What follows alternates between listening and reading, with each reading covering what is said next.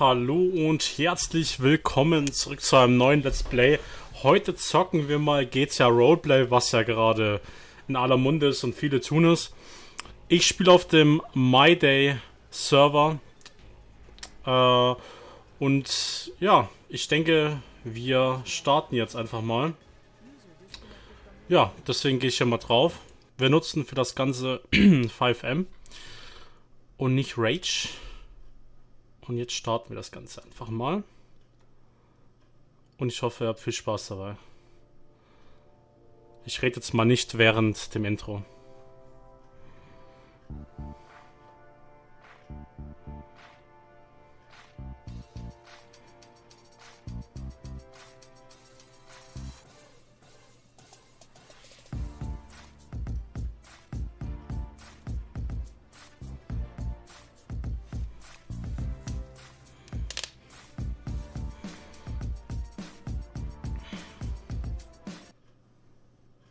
So, jetzt starten wir hier mal.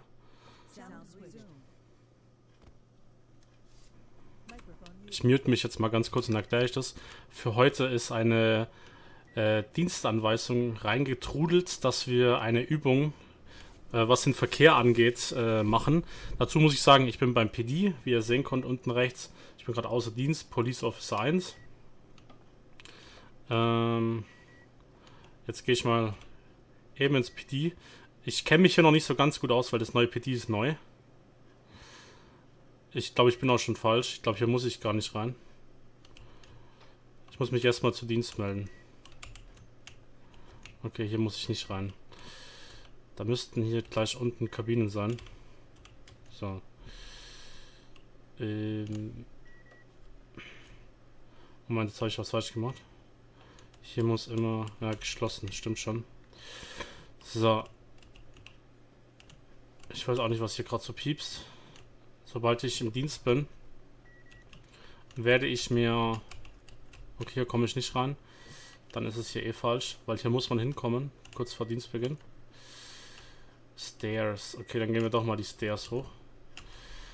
Ich denke mal, ich, ich kenne mich ja bald aus. Es ist, wie gesagt, heute mein zweites Mal, dass ich erst da bin. Ich, ich suche nach den Locker Rooms. Äh... Okay. Ich schaue einfach mal, was hier so geht. Da komme ich nicht rein, das ist natürlich nicht gut. Okay, komme ich hier rein? Hier komme ich rein, okay.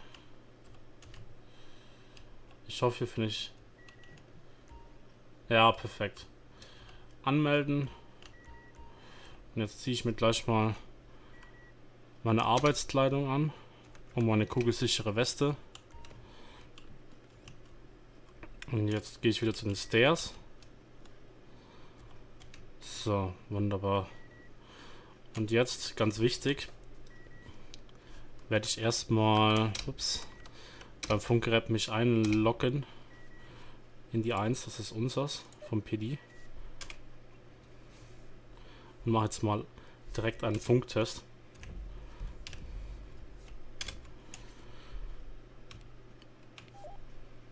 Moment. Ich muss mich erst wieder entmuten. So, jetzt Funktest.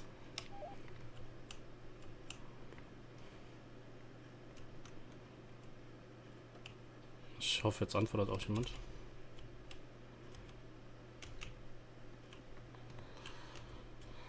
Okay, nee, ich muss hier raus. Ja, das hat jetzt nicht so gut funktioniert. Irgendwie ist gerade niemand da. Ich gehe jetzt mal einfach hoch. Ich hätte auch MPD hochgehen können. So. Immer wenn ihr das hört, dann bin ich gemutet. In-game. Dann hört man mich nicht. Ich schaue einfach mal, was hier oben jetzt abgeht. So ein bisschen, ob ich jemanden treffe.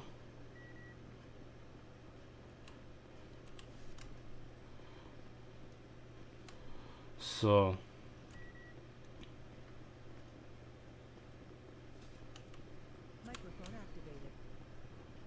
Ich melde jetzt nochmal ganz kurz, dass ich im Dienst bin. PD97 meldet sich zum Dienst. Äh, wann und wo beginnt die Dienstanweisung bezüglich der Verkehrskontrollenübung heute?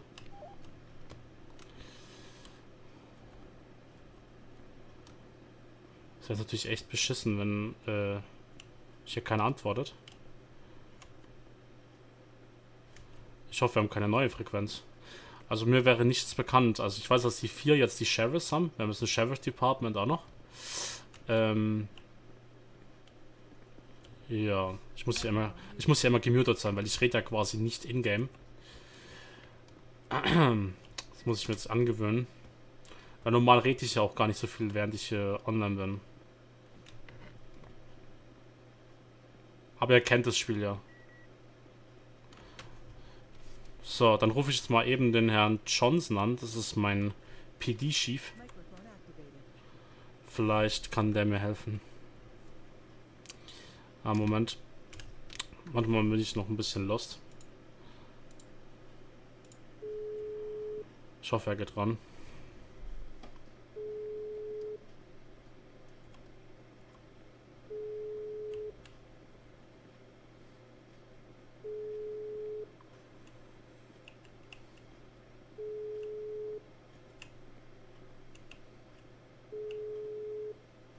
Hm.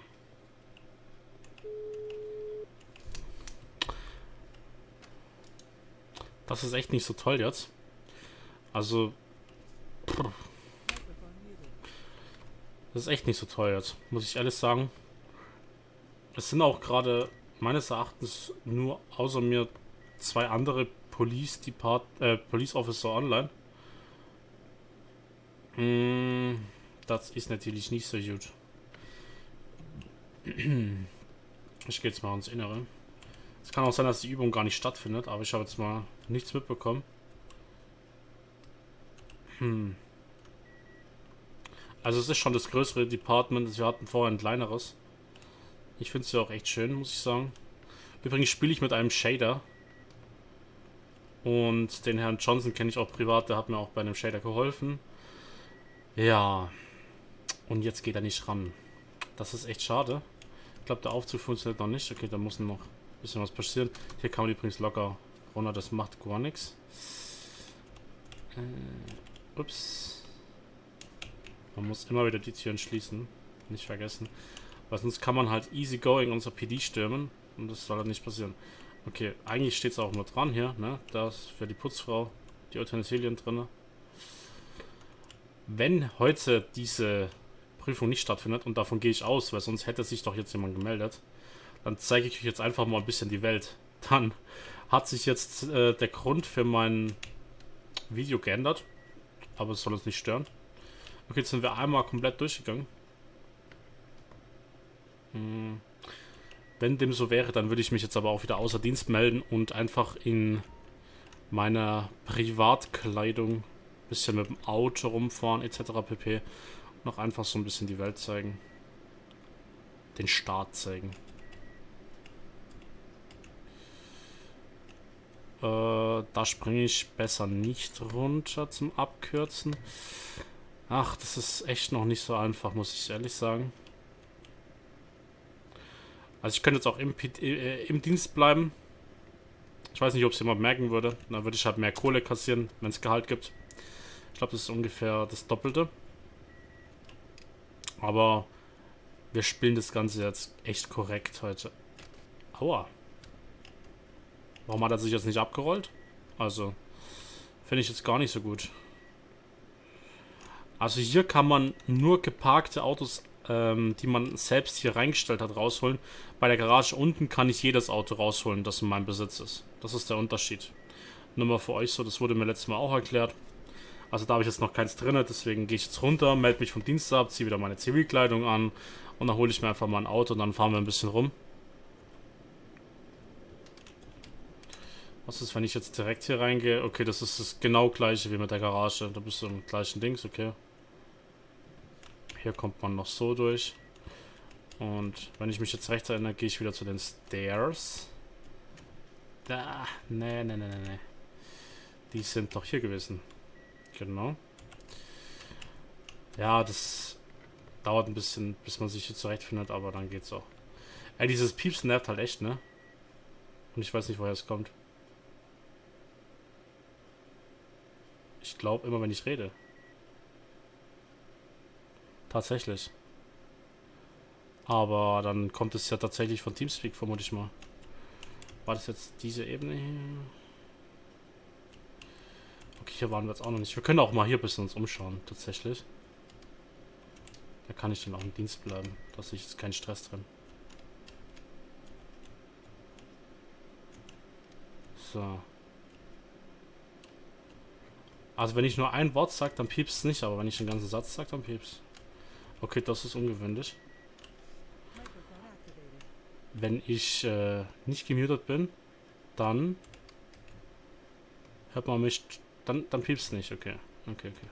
Das ist natürlich für mein Let's Play jetzt nicht so optimal.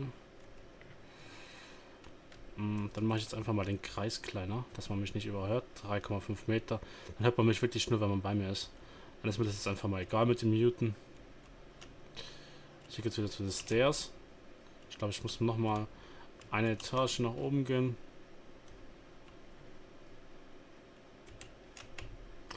Ja, das ist mir noch nie aufgefallen, weil wenn man gemutet ist, dann sagt man im Normalfall auch nichts. So. Ja, genau. Okay, einmal abmelden. Und dann ziehen wir uns wieder die private Kleidung an. Äh, hallo? Hallo?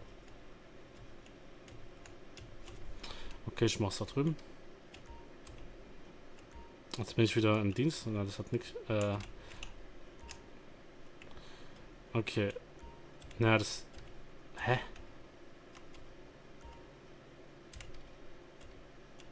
Okay, das ist ein bisschen komisch. Sonst mache ich es anders. Ich melde mich an und dann nutze ich die Garderobe hier. Hä? Du nimmst den Dienst auf, okay. Jetzt kann ich mich hier umziehen.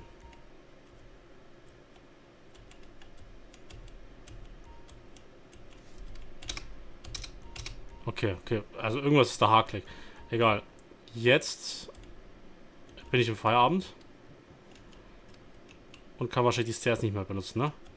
Doch, kann ich noch. Sehr gut. Das, die Etage wurden, glaube ich, extra freigelassen. So, jetzt gehen wir wieder ganz runter. Bis in den Keller. Und nehmen uns mal aus meinem privaten Repertoire ein Auto. Hier ging es raus. Steht auch dran. Forensik Garage. Garage. Okay, das Menü. Ist mich vor. Irgendwas stimmt doch nicht. Hä? Ist mich verarschen? Schaut euch das mal an. Okay, jetzt nehme ich einfach das ne Next Best Auto. Krieg ich das? Krieg ich das? Okay. Kann ich halt nur das fahren. Pack mal die Waffe weg, Amon. Hä? Warum habe ich das hier Waffe in der Hand gehabt? So, gehen wir wieder rein.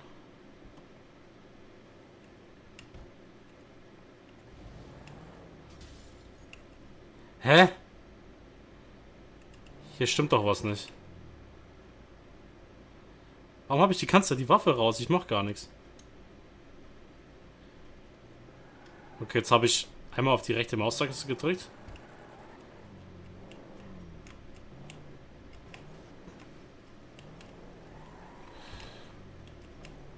Ich würde euch jetzt auch noch gerne andere Autos zeigen.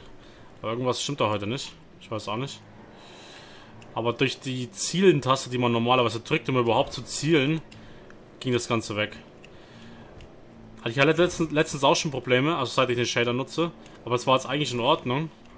Und ich konnte auch vorher zum Beispiel ganz normal das Inventar öffnen und so. Deswegen wundert mich das ein bisschen. Aber man merkt schon hier, das sieht schon alles sehr, sehr clean aus. Mir gefällt es sehr gut. Also ich meine jetzt wegen dem Shader, ne?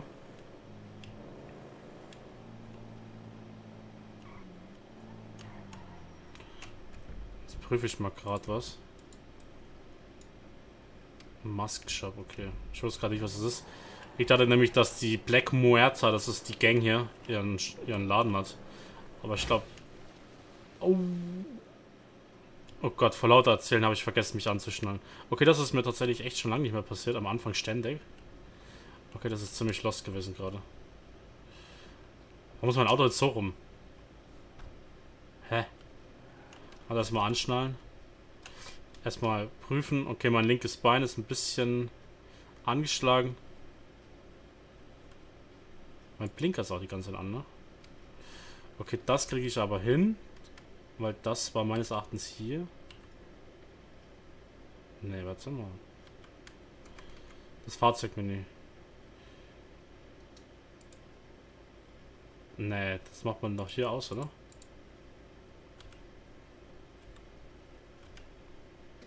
Willst du mich jetzt flachsen? Nein.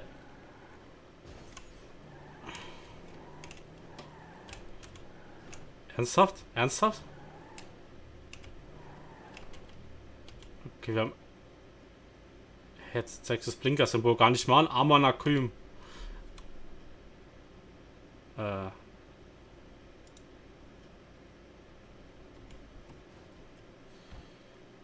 ich gerade die ganze Zeit ins Dings geredet?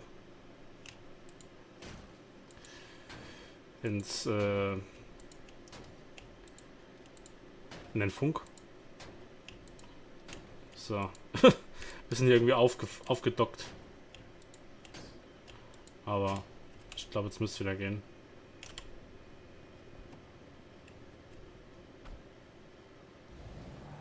So, anschnallen nicht vergessen, sonst passiert das wie eben gerade wieder. Ich würde echt gerne ein anderes Auto fahren, aber es ist leider nicht möglich.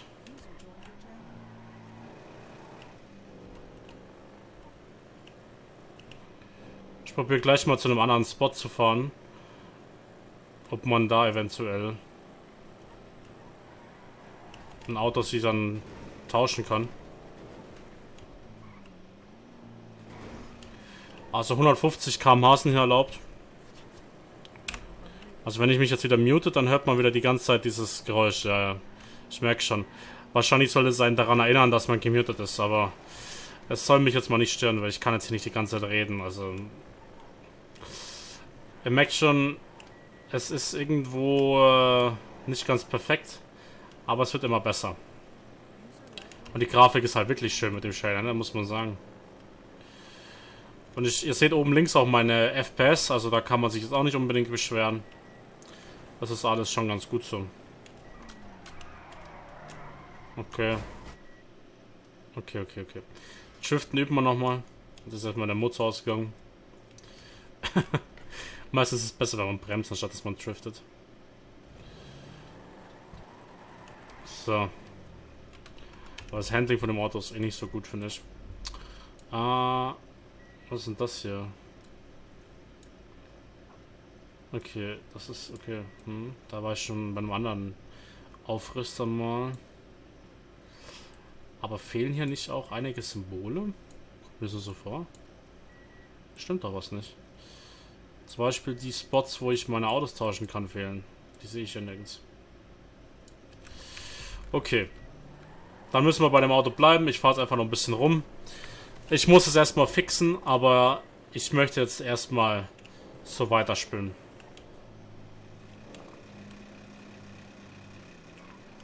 Ja, die Karre ist echt lost, ne?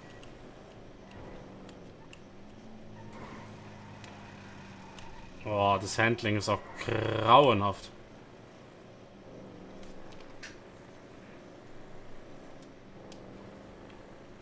Das Einzige, was cool ist, ist die Grafik heute. Alles andere nervt mich schon wieder.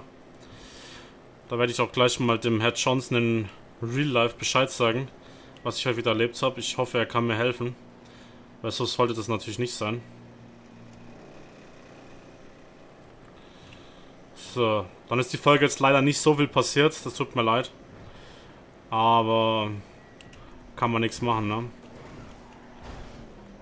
Also im Endeffekt äh, kann ich mir erklären, warum diese Spawning Points nicht da sind von der äh, vom äh, wo man das Auto rauslassen kann, weil die waren ja im PD selbst auch buggy.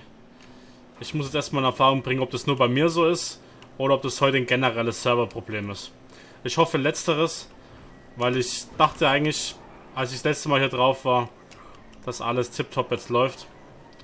Aber so wie heute ist es natürlich nicht ideal, ne? So. Jetzt fahre ich mal hier noch ein bisschen bis vorne ans Meer hin. Ich darf hier übrigens 150 km/h fahren. Ich war ein bisschen zu schnell. Aber das juckt mich jetzt nicht. So. Zum Beispiel beim Police Department darf man noch langsamer nur fahren. Darf man nur 100 km/h fahren. So. Mmh.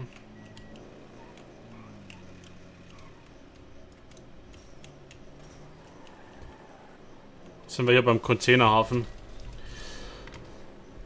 Ach ja, ach ja.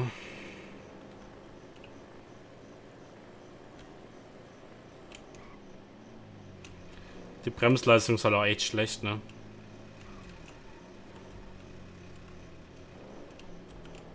Aber das Wasser sieht halt auch cooler aus als normalerweise.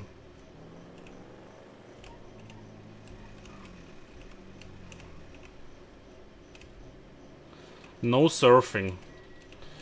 Ich warte mal auf die Light, auf die Holzplanke hier drauf. Hütz. Nice. Es kann halt wirklich sein, dass es an, mein, an mir wieder liegt und deshalb konnte ich jetzt auch mit niemandem hier in-game reden. Ich humpel schon wieder. Das ist natürlich nicht so cool. Das kann man aber normalerweise hier beheben. Aber ich glaube, man braucht erst Hilfe, ne? Ich humpel jetzt bestimmt immer noch. Ja. Erst muss ich mich ärztlich versorgen lassen, dann kann ich das resetten. Hui. Ich möchte eigentlich da oben bleiben. Weil von dort aus würde ich dann die Folge beenden. Denn bei mir in Real Life gibt es jetzt Lasagne. Jawohl. So. Also ihr seht schon, es sieht alles wirklich gut aus und die FPS konntet ihr ja währenddessen. Ich mache das nochmal kurz an, das ist nicht die ganze Pieps. Ähm, ja, irgendwas hat ja nicht ganz funktioniert heute wieder.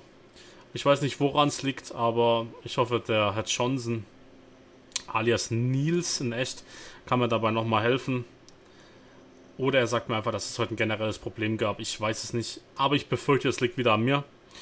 Muss ich beheben.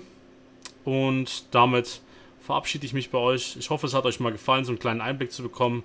Ich hätte euch heute gerne die ähm, die Fahrprüfung, nenne ich die Fahrprüfung, die Fahrzeugkontrollenprüfung gezeigt, aber unter den Umständen ist es natürlich nicht möglich, wenn niemand online ist und sich niemand bei mir meldet. Kann natürlich auch sein, dass es an mir liegt und deswegen mich niemand hören konnte. Naja, ich verabschiede mich von euch. Hoffe, es hat euch gefallen und dass ihr beim nächsten Mal wieder dabei seid.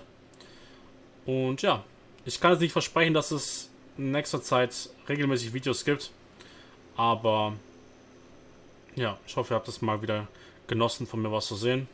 In diesem Sinne wünsche ich euch noch einen schönen Tag. Bis zum nächsten Mal. Tschüss.